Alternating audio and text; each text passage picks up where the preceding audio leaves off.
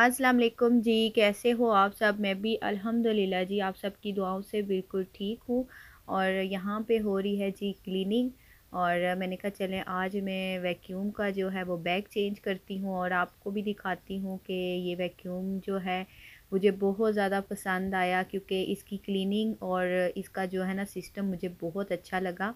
तो ये जब बैग फुल हो जाता है तो फिर इसको चेंज कर देते हैं और ये खुशबू के लिए जो है ये अच्छी स्मेल के लिए इसमें एक पैकेट डाल देती हूँ और बड़ी अच्छी जो है ना क्लीनिंग भी हो जाती है रूम में और बड़ी अच्छी स्मेल भी आती है।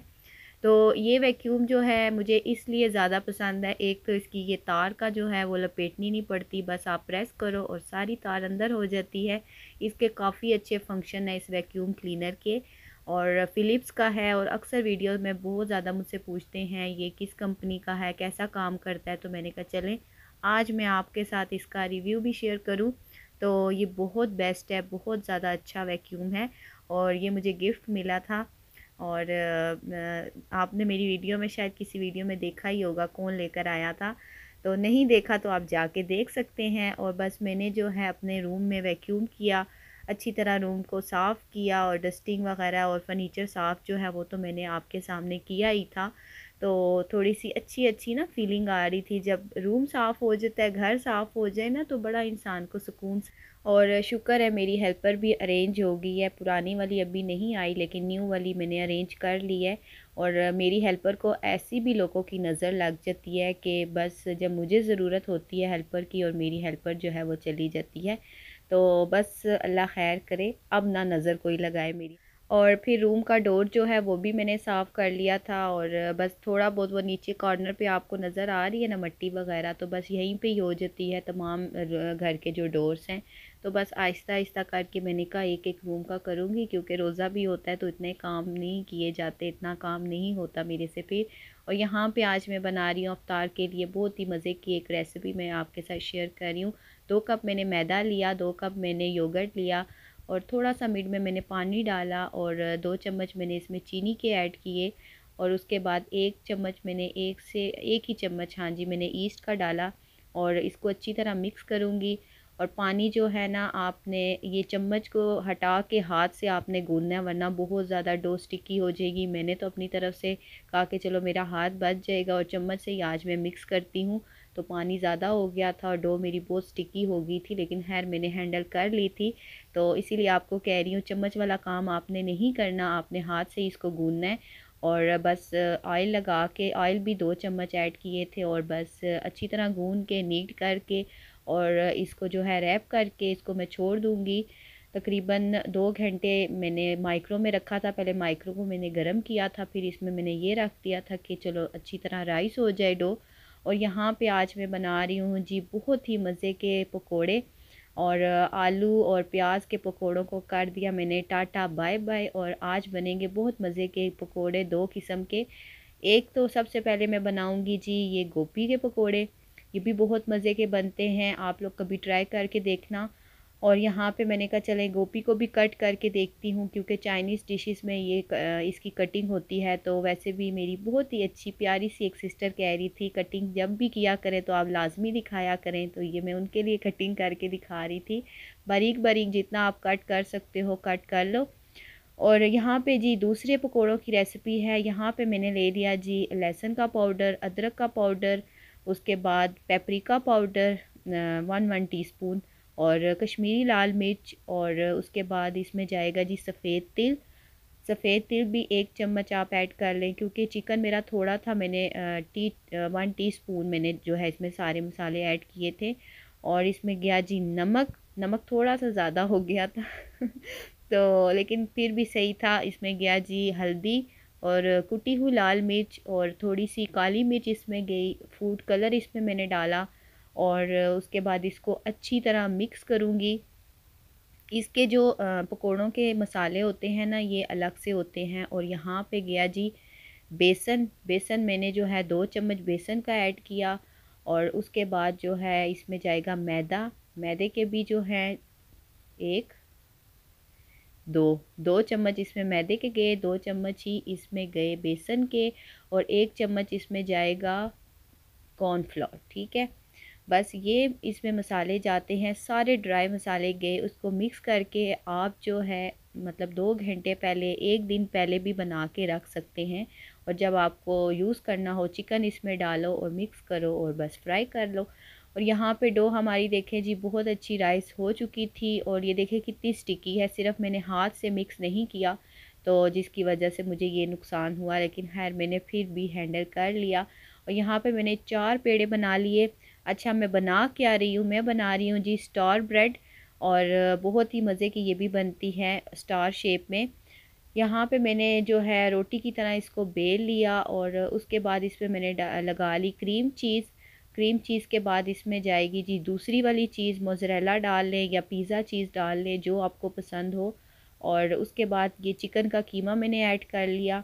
और इसके ऊपर फिर ये मिक्स हर्ब डाले थोड़े से और फिर एक और रोटी की लेयर गई और इसमें फ़ोर लेयर्स चार दूसरी लेयर भी इसी तरह देनी है तीसरी भी इसी तरह देनी है और बस ऐसे ही सारे स्टेप आपने करने हैं और इसको आप स्टार ब्रेड बोल लें या स्टार पिज़्ज़ा बोल लें जो आप इसको नाम दे दें तो बहुत ही मज़े का ये भी बनता है। और जो चीज़ लवर है ना उनके लिए तो मैं कहती हूँ बहुत ही अच्छी जो है ना ये एक रेसिपी है डिश है बहुत अच्छी चीज़ है और बच्चे रोज़ा रखते हैं तो बच्चों के लिए आपको पता है कुछ ना कुछ तो स्पेशल करना पड़ता है। हम बड़े तो आलू पकोड़े और चाट वगैरह से भी अपना वो कर लेते हैं गुजारा, लेकिन बच्चों को कुछ ना कुछ रोज़ नया चाहिए होता है तो फिर उनके लिए मुझे करना पड़ता है। और यहाँ पे जी मिड में मैंने कप रखा और फिर इसकी कटिंग की और बस डो थोड़ी स्टिकी हो गई थी आप लोग ये ख्याल कीजिएगा ठीक है? लेकिन फिर भी मैंने जो है वो इसके पहले मैंने फोर आ, मतलब कटिंग की चारों तरफ़ से फिर उसको मिड में से मैंने दो दो पीस बना लिए। और बहुत ही ना एक नई सी चीज़ और देखने में भी इतनी अच्छी लग रही थी और खाने में भी अच्छा लग रहा था इसका टेस्ट और अगर आपके पास क्रीम चीज़ ना हो आप पिज़्ज़ा सॉस भी डाल सकते हैं। तो ये आप पे है कि आप किस तरह का फ्लेवर चाहते हैं। और फिर इसको ना ऐसे ट्विस्ट बना के ऐसे फोल्ड करके और आपस में इनको जोड़ देना है और ये हमारा स्टार पिज़्ज़ा रेडी हो जाता है। इसकी शेप बहुत अच्छी लगती है।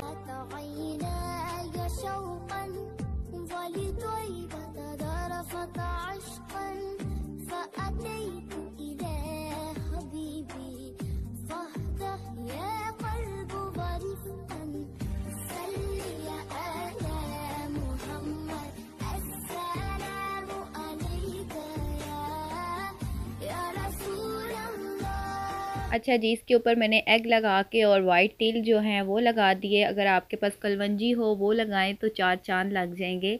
तो खैर, अब ये रेडी हो गया और इसको मैं बनाऊँगी जी पतीले। में इसको वैसे ही बेक करना है जैसे हम पिज़्ज़े को करते हैं। बिल्कुल दम वाली आँच पे करना है। आँच तेज़ नहीं होनी चाहिए, वरना एक तो नीचे से वो लग जाता है, सख्त हो जाता है। और अच्छी तरह वो बेक भी नहीं होता। यहाँ पे जी बेकिंग के लिए वो चला गया, गैस स्लो थी तो मैंने फिर पतीले में इसको बेक कर लिया। यहाँ पे मैंने बोनलेस चिकन लिया था, वो जो मैंने मसाला बनाया था, अब उसमें मैंने चिकन को ऐड कर लिया था, क्यूब्स में मैंने कटवाया था चिकन को। और ये चिकन के पकोड़े मैं बनाऊँगी जो कि बहुत बहुत बहुत मज़े के बने थे। और ज़ाहिर रमज़ान का एक महीना होता है तो आप लोग नई से नई चीज़ जो है वो ट्राई किया करें। साल के बारह महीने इंसान खाना ही खाता है। अच्छा गोभी के पकौड़ों में मैंने नमक डाला, कुटी हुई लाल मिर्च डाली, साबत सूखा धनिया ऐड किया, ज़ीरा ऐड किया, अजवाइन थोड़ी सी ऐड की और लहसुन का पेस्ट, ये मस्ट होता है हर पकौड़े में ये डाला और मैंने एक चुटकी मीठा सोडा भी ऐड किया था। मीठे सोडे से ये होता है, पकोड़े बहुत सॉफ्ट बनते हैं, नरम बनते हैं, सख्त नहीं होते, फूलते हैं तो सिर्फ़ एक चुटकी मैंने ऐड की थी और बस बेसन डाल के थोड़ा थोड़ा पानी डाल के मैं मिक्स करूँगी। ना बेसन हमने ज़्यादा डालना है, ना बेसन हमने कम डालना है और ये जो मिक्सचर है, इसको ना ज़्यादा रनी करना है, ना ज़्यादा सख्त करना है। तो बस आप समझ गए होंगे मेरी बात को। तो ये जो है अफ्तार में हमारे दही भले ना हो, ऐसा तो हो नहीं सकता। यहाँ पर मैंने दही भले भी बना लिए थे और यहाँ पे देखें जी, अब फ्राई का टाइम स्टार्ट हो गया था तो मैंने चिकन के पकोड़े जो थे वो फ्राई करने स्टार्ट किए। बिल्कुल दरमियानी आँच पे आँच तेज़ नहीं करनी, ना ज़्यादा लो करनी है। तो बस माशाल्लाह से कितना प्यारा कलर आ रहा है देखने में और इसमें जो वाइट तिल आते हैं ना फ्राई करने के बाद, मैं कहती हूँ बस वैसे ही देखने से ही इंसान कहता है कि क्या कमाल की चीज़ है। तो बस वो भी मेरे फ्राई हो गए थे और ये देखें मिक्सचर ऐसे बन जाता है। और ऐसे ही आपने बनाना है और ऐसे ही आपने ट्राई करना है और फिर मुझे बताना है कि हमने ऐसे पकोड़े बनाए थे और कैसे बने थे। तो मैं इंतज़ार में रहूँगी, ठीक है? तो जो है आप देखते हैं तो फिर ट्राई भी किया करें ना। तो वैसे काफ़ी सारे मुझे आते हैं, मैं कमेंट्स वगैरह कि हम आपकी जो भी रेसिपी ट्राई करते हैं, बहुत अच्छी बनती है। तो यकीन करें उस टाइम इतना इतना दिल खुश होता है कि चले आ, मैं आपको कुछ थोड़ा बहुत चले आप मुझसे पिक कर रहे हैं और बनाते भी हैं। तो यहाँ पे जी फिर मैंने ग्रिल के लिए जो है वो वन में इसको ग्रिल किया पाँच से दस मिनट के लिए कि अच्छा सा इसके ऊपर कलर आ जाए। ज़्यादा नहीं किया था तो बस यहाँ पे देखें जी हमारा स्टार पिज़्ज़ा रेडी हो गया था। और ज़रूर मुझे आपने कमेंट करके बताना है कि आपको मेरी आज की रेसिपी आज की अफ्तारी कैसी लगी ठीक है? और यहाँ पे हमारी अफ्तारी रेडी हो गई थी माशाल्लाह से माशाल्लाह से। बस थोड़ी थोड़ी चीज़ें बनाती हूँ जो कि हम खा लें, ज़ाया ना जाएँ, क्योंकि हमारी फैमिली छोटी सी है, उसके हिसाब से मैं अपना जो है ना वो खाना पकाना करती हूँ। यहाँ पे बेटे ने कहा, स्ट्रॉबेरी शेक आज उसको पीना है। वो बना और ये हमारी माशाल्लाह से अफ्तारी रेडी हो गई थी। अल्लाह तेरा है एहसान, तूने बढ़ा दी सबकी शान। आया है बन मेहमान, नूरे रमज़ान।